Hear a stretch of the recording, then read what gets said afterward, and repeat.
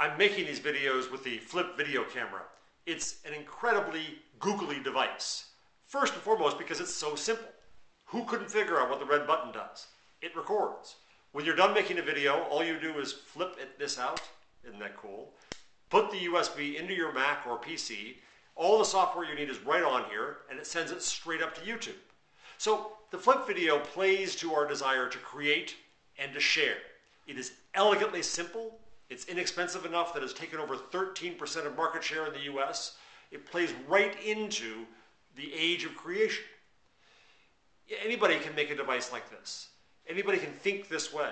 This is what Google would do if it made a video camera.